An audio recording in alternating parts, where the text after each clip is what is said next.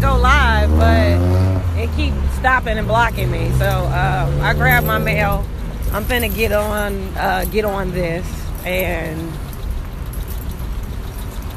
I'll be back. I'm about to get this drink. Eat my cookie. I'm gonna do my podcast and man my business.